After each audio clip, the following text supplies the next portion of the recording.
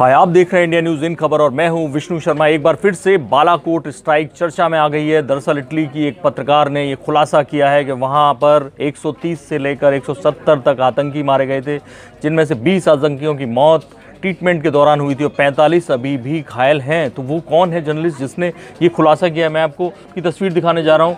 Franziska Marino है ये और फ्रांसिस्का मैरिनो इटली की फ्रीलांस जर्नलिस्ट हैं, दो बुक लिख चुकी हैं साउथ एशिया पे काम करती हैं।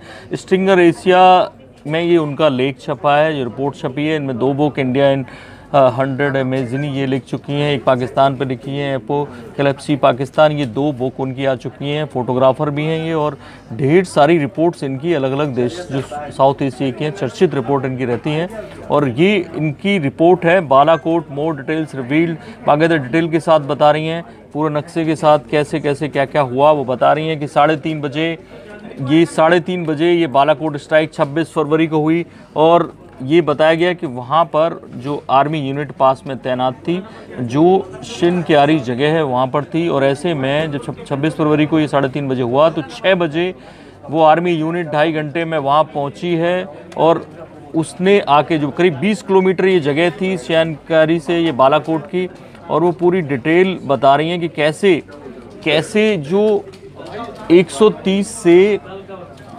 170 तक आतंकी मारे गए, जिसमें से 20 ट्रीटमेंट के दौरान मारे गए।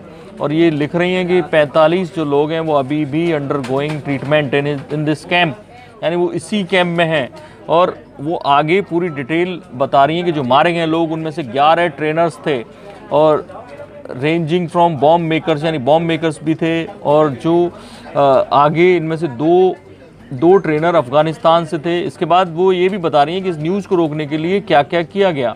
और उसके लिए उन्होंने ये भी बताया कि फैमिली मेंबर्स क्योंकि जो या तो लोकल से जानी थी तो वहाँ पुलिस ने घेरा डाल दिया और जो फैमिली मेंबर्स थे मरने वालों के जैश मोहम्मद के एक ग्रुप उन फैमिली वालों के पास गया उन्हें कैश दिया उनको समझाया।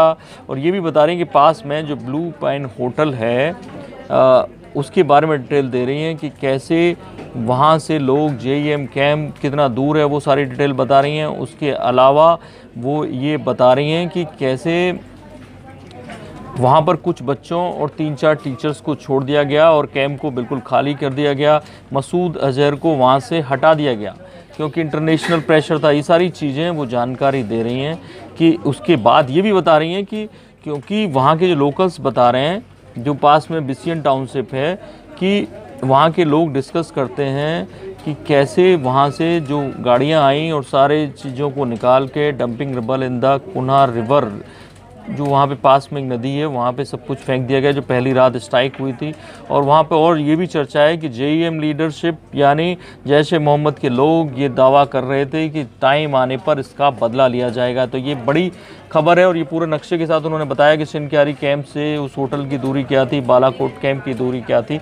और ऐसे में, क्योंकि चुनावी माहौल है देश में तो इसका चुनावी फ़ायदा लेने की कोशिश करेगी सत्तारूढ़ पार्टी और विपक्षी इसको खारिज करेंगे। तो ऐसे में फिर से एक बार बालाकोट स्ट्राइक चर्चा में आ गया इस बारे में और कोई बड़ी खबर आएगी तो आपको ज़रूर बताएँगे। आप देखते रहिए इंडिया न्यूज़, सब्सक्राइब करें इन खबर। थैंक यू, नमस्कार। इन खबर चैनल को सब्सक्राइब करें और बेल आइकन दबाना ना भूलें।